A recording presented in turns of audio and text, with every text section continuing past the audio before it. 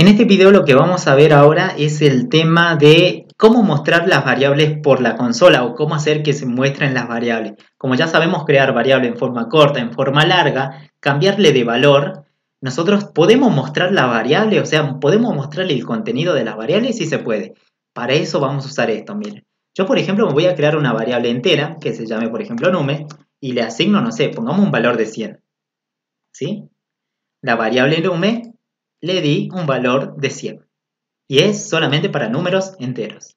Ahora, y a vos te piden, bueno, Cristian, ejecútame esto y quiero que me mostres cuánto vale la variable nume. Está bien, ustedes visualmente, como están programando, obvio que saben que vale 100. Pero una persona, cuando va a ver el programa o la página que quieren ver, tiene que ver algún resultado. O sea, esto es a nivel de código.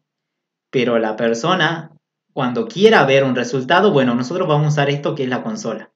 Esta parte, console. ¿Sí? Aquí abajo. Aquí vamos a mostrar esa variable. Bien, si ustedes no tienen la consola, acuérdense que se van aquí a Windows, mostrar View, Show View y console. De esa forma aparece la consola si es que no la tienen, ¿no? Bien. ¿Cómo hago para mostrar algo por la consola? Se usa esto, miren. System out.print print el n. Abro paréntesis, cierro paréntesis, punto y coma. Y dentro de los paréntesis, fíjense que estoy adentro de los paréntesis, vamos a poner un, string, un mensaje. No sé, pongamos un mensaje, a ver. Yo voy a poner mi nombre, ¿sí? Siempre pongo mi nombre. Cristian Ballesteros. Perfecto. Es un string, me doy cuenta que es un string, ¿se dan cuenta que es un string? Porque tienen las comillas dobles o no. Dentro de esos paréntesis, no se olviden, va un string o cualquier otro dato. ¿Sí? Guardo aquí arriba, save HAL, o guardar, o control S también pueden aplicar. Si estamos en esta página, control S se guarda. Y le damos aquí en la ruedita, run. Si pueden ver acá arriba, bueno, run. O si no, aquí en la pantalla donde estoy, clic derecho, Run NAS y Java Application. Cualquiera de las dos formas se va a ejecutar. Capaz que ustedes decían, bueno, la ruedita. Presiono ruedita. Y aquí, eh, vieron, esto es el resultado. ¿Sí? Esto es trabajar por la consola. ¿Estamos de acuerdo? De esta forma, lo que hicimos a través del System Open Line, que lo tenemos aquí, es mostrar este string por la consola. ¿Estamos de acuerdo?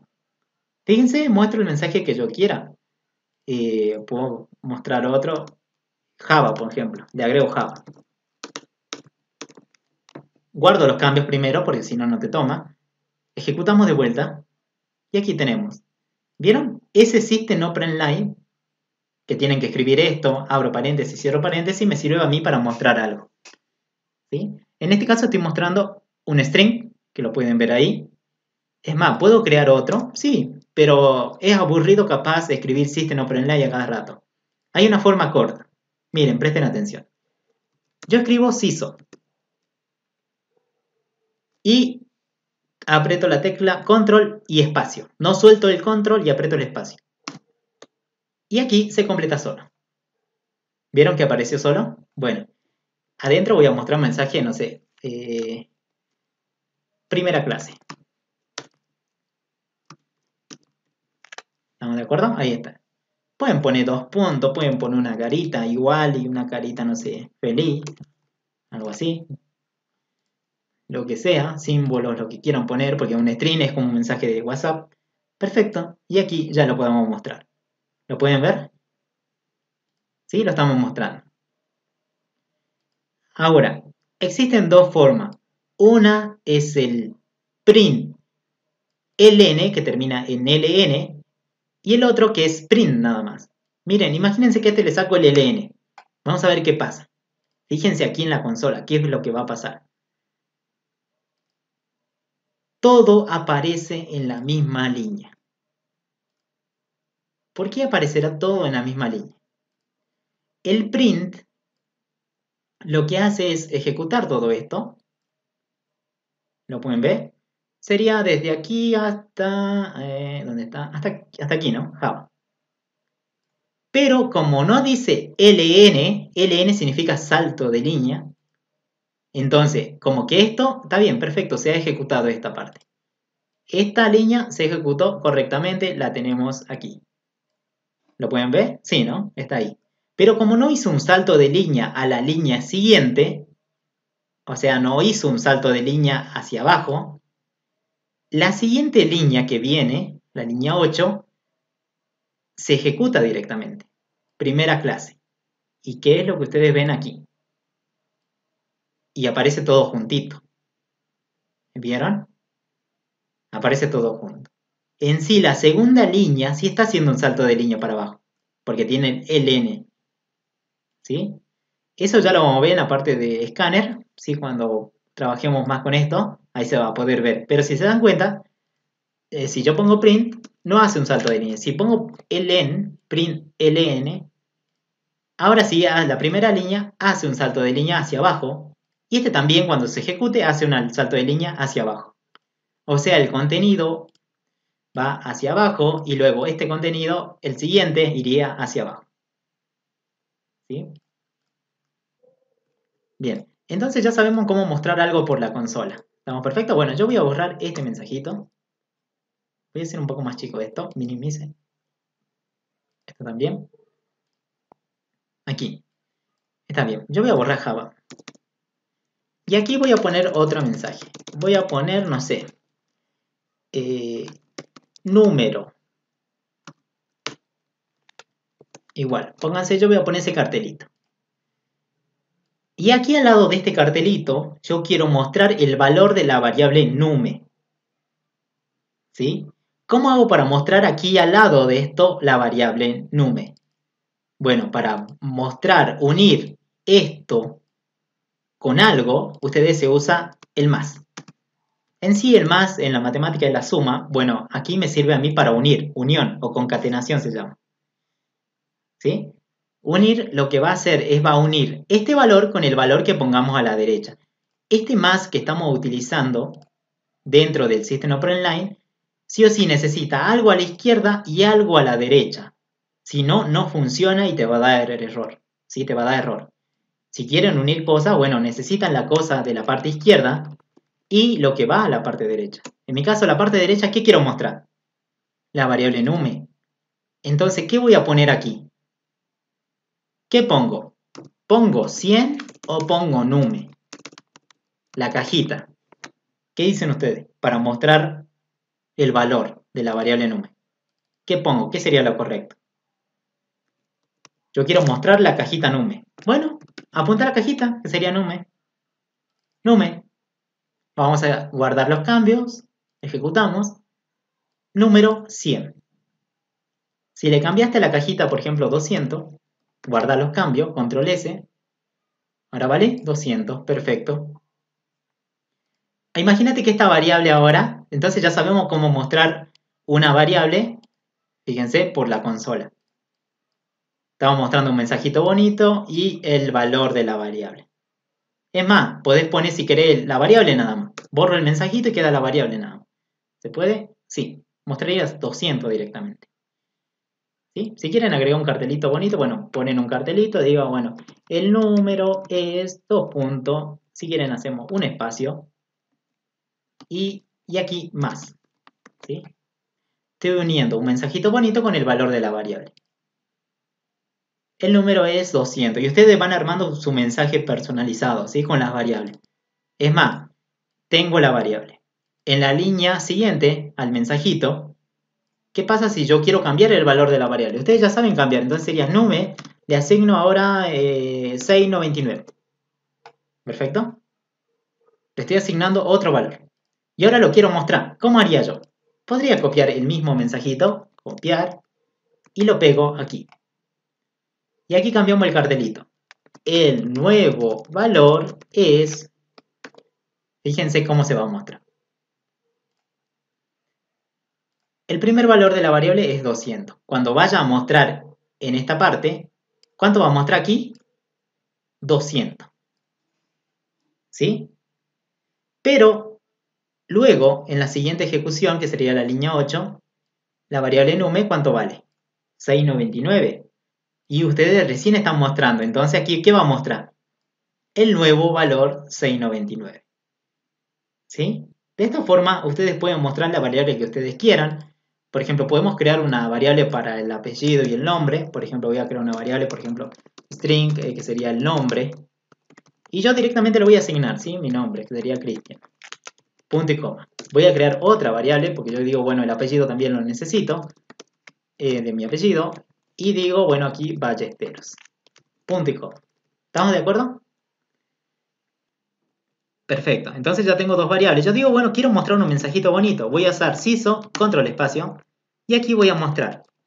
Voy a decir, primero siempre se muestra el apellido, que no a veces. En algo formal se muestra el apellido. Apellido, igual, voy a unir con quién. Si yo pongo este cartelito apellido, ¿qué es lo que voy a mostrar a la parte derecha? El apellido, ¿que no? ¿Qué variable contiene el apellido? ¿Esta o esta?